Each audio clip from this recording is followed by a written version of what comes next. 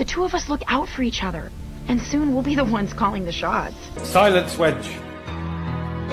I do not wish to be horny anymore.